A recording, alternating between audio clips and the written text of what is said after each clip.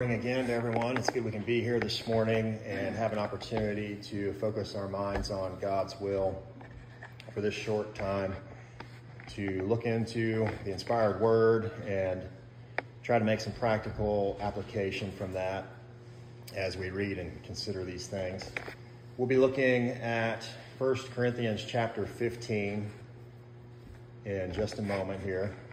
Uh, just a, an aside point this morning as I'm opening the mail, we had uh, some flyers that come from different churches and different campaigns that they might be supporting. And an interesting one came in this morning. Uh, church is supporting a plan to read the New Testament. It's kind of like a challenge to read the New Testament in 30 days. Uh, that flyer is back there, and there's a, a, a bookmark that kind of details that out. But the, basically the math behind that plan or that bookmark. If you read six chapters a day, you could read the New Testament in 30 days.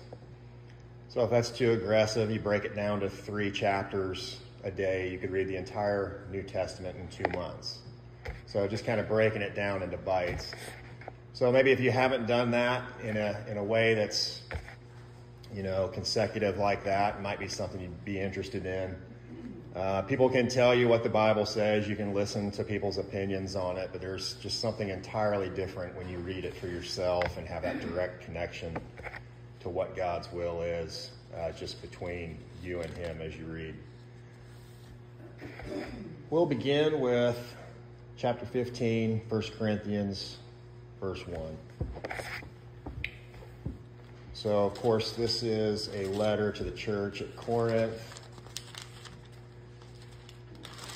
And quick here. This is written by Paul. So, a, a, letter written by Paul the Apostle to the church at Corinth. Uh, chapter 15, verse 1. Moreover, brethren, I declare to you the gospel which I preached to you, which also you received and in which you stand, by which also you are saved, if you hold fast that word which I preached to you unless you believed in vain. For I delivered to you first of all that which I also received, that Christ died for our sins according to the Scriptures, and that he was buried, and that he rose again the third day according to the Scriptures, and that he was seen by Cephas, then by the twelve. After that, he was seen by over five hundred brethren at once, of whom the greater part remain to the present, but some have fallen asleep. After that, he was seen by James, then by all the apostles. Then, last of all, he was seen all by me also, as by one born out of due time. So, as we start in chapter 15, Paul's just giving that account of the risen Christ and the faith that we can have in him, and he's recounting essentially a history of all those who saw Jesus risen. Uh, 500 some people, and then he calls out some specific names, and then he mentions himself as we can read of that account on the road to Damascus. Uh, we know Paul, as he was Saul before, was uh, part of that establishment of the old law that was denying Christ, and of course, Paul was vehemently denying Christ and persecuting the church and was confronted by God himself and was blinded. And we know how the story continues from there. I'm going to continue on with verse 9. For I am the least of the apostles, who am not worthy to be called an apostle, because I persecuted the church of God. But by the grace of God, I am what I am, and his grace toward me was not in vain but I labored more abundantly than they all. Yet nor I, but by the grace of God which was with me. Therefore, whether it was I or they, so we preach, and so you believed. The next heading in my New King James, the risen Christ, our hope. Continuing in verse 12. Now, if Christ is preached that he has been raised from the dead, how do some among you say that there is no resurrection of the dead? But if there is no resurrection of the dead, then Christ is not risen. And if Christ is not risen, then our preaching is empty and your faith is also empty. Yes, we are found false witnesses of God because we have testified of God that he raised up Christ, whom he did not raise up, if in fact the dead do not rise. For if the dead do not rise, then Christ is not risen. And if Christ is not risen, your faith is futile. You are still in your sins. Then also those who have fallen asleep in Christ have perished. If in this life only we have hope in Christ, we are of all men the most pitiable. So, Paul is confronting some of those who maybe acknowledged Christ at the time, but for whatever reason were denying the resurrection of Christ. And there are many still that will do that. They'll offer some honor to Christ as a prophet or as a good man or, you know, things of that nature, but not acknowledge that he was the Son of God and that he was resurrected. So we can still encounter people that will hold to that uh, belief or, or lack thereof. I'm going to continue on with verse 20. But now Christ is risen from the dead and has become the first fruits of those who have fallen asleep. For since by, for since by man came death, by man also came the resurrection of the dead. For as in Adam all die, even so in Christ all shall be made alive. But each one in his own order Christ the firstfruits, afterward those who are Christ at his coming. Then comes the end when he delivers the kingdom to God the Father, when he puts an end to all rule and authority and power, for he must reign till he has put all enemies under his feet. The last enemy that will be destroyed is death. For he has put all things under his feet, but when he says all things are put under him, it is evident that he who put all things under him is accepted. Now, when all things are made subject to him, then the Son himself will also be subject to him who put all things under him, that God may be all in all. So we think about the idea of Jesus defeating death. We see that illustrated in many other scripture. Jesus defeated death through that execution of that plan that God had given him uh, to live and, and to die and to rise as a Savior. The mention of Jesus being the first fruits from the dead he was the, the first to be resurrected, to rise and to live eternally in that effect.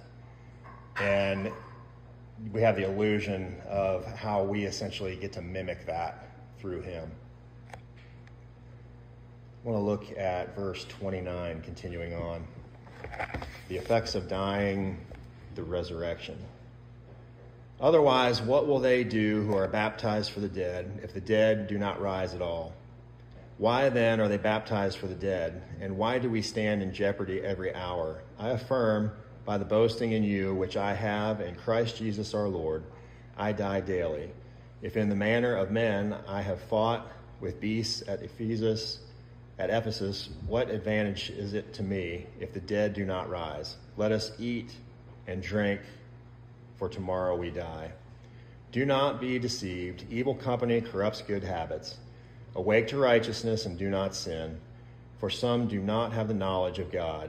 I speak this to your shame. So, one notable verse there in our, our, popular culture, I suppose, let us eat and drink, for tomorrow we die. That's quoted in Shakespeare, and we'll hear that commonly. Eat, drink, and be merry, for tomorrow we die. And it's, uh, it's noted in, in other scripture similarly. And it's just uh, a bit of a sarcastic note, as I would take it from Paul. If if we don't rise, if there's no resurrection, then we might as well just enjoy life. We might as well just party on and you know get everything we can out of this life because this is it. There's no life beyond this. And I think Paul is just kind of calling to that ridiculousness in that mentality as we know that Jesus rose and is alive as we can be as well. I'm going to carry on in verse 35. But someone will say, How are you, the dead, raised up? And with what body do they come? Foolish one, what you sow is not made alive unless it dies. And what you sow, you do not sow that body that shall be, but mere grain, perhaps wheat or some other grain. But God gives it a body as he pleases, and to each seed its own body. All flesh is not the same flesh, but there is one kind of flesh of men another flesh of animals, another of fish, and another of birds. There are also celestial bodies and ter- terrestrial bodies, but the glory of the celestial is one, and the glory of the terrestrial is another. There is one glory of the sun, another glory of the moon, and another glory of the stars. For one star differs from another star in glory. So is the resurrection of the dead. The body is sown in corruption, it is raised in incorruption. It is sown in dishonor, it is raised in glory. It is sown in weakness, it is raised in power. It is sown a natural body, it is raised a spiritual body. There is a natural body and there is a spiritual body. And so it is written the first man, Adam, became a living being, the last Adam became a life giving spirit. However, the spirit is not first, but the natural, and afterward the spiritual. The man the first man was of the earth, made of the dust. The second man is the Lord from heaven. As was the man of dust, also are those who are made of dust. And as is the heavenly man, so also are those who are heavenly. And as we have borne the image of the dust of the man of the dust, we shall also bear the image of the heavenly man. It's an interesting way that Paul is trying to relate to those who would be hearing this letter, uh, talking about the corruptible becoming the incorruptible, talking about how something that, for example, seed, something has to die to create the seed to be planted for something new to come. Uh, talking about the physical has to happen first before the spiritual. So naturally, us being in the flesh, we're in that that physical realm, that seed realm right now. And this physical flesh, that seed that was created, there has to be that death before that spiritual renewal can happen. Uh, a lot of figurative and uh, insightful illustrations for people to try and grasp and understand uh, the parallels and also the description of Adam coming from the dust, from the dirt, and Jesus coming from heaven, and uh, that life giving spirit. It's a, it's a nice way, I think, for us to try to relate and try to understand. It's, it's really a lot to grasp when you're considering what the purpose of this life is and what is it all about. And, and some people I've heard recently are describing this life as a soul test, which is kind of an interesting way to, to put it also. But, you know, we think about what is the meaning of life, that, that common question.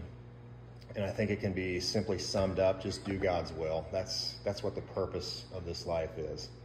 That's the soul test. If we're doing God's will and constantly trying to strive and find what his nature is, what his insight and will is for us in this lifetime. I think that it gives us that uh, kind of drawing down of what we're seeing here in, in these words uh, the seed, uh, the new life that comes from it, uh, the death of the corruptible, and the rising of the incorruptible. And we have that opportunity to rise incorruptible in Christ. It's only through him. Uh, Jesus said that no one comes to the Father except through him, uh, very simply. And as we think about all these things and we think about the instruction to salvation, we're, we're in a process now where we're hearing the word and hopefully we're helping others around us to hear the word. And uh, many of us have believed that word, and hopefully more will come to that opportunity to believe, and we can help others to, to do the same. And as we believe and learn, we realize that need for repentance. We realize that we're sinners and that without Jesus, we can't find salvation. We can't come to the Father without Him. He is that living sacrifice that forgives us of our sins. And we take that opportunity, and, and we're doing it now in a, a different way. We're confessing Jesus this morning. We've done that. We've confessed him until he returns as we took the, the emblems this morning with the Lord's Supper. And then that next step uh, for those who are new, and as we talk to those around us who are unfamiliar, uh, we need to teach baptism and the importance of that, how it's that simple opportunity to sign that contract. We don't just get to in life call ourselves uh, college students or homeowners or so many other things that are pretty simple for us to understand. You have to sign on the dotted line, you have to make that commitment. And the way we sign on the dotted line for Jesus is to simply be baptized. That's the act that we take. And then beyond that, we have the opportunity to live a godly life. And it's a, a continual struggle. Uh, Christians continue to sin. We fall short. All have fallen short. But we continue to strive on and uh, try and be that seed that'll someday be planted and rise anew incorruptible. That's all I have this morning. Uh, if there's anyone subject to an invitation or if anyone has any need where we can bear one another's burden, that opportunity exists as well. You can make it known as we stand and sing the invitation song.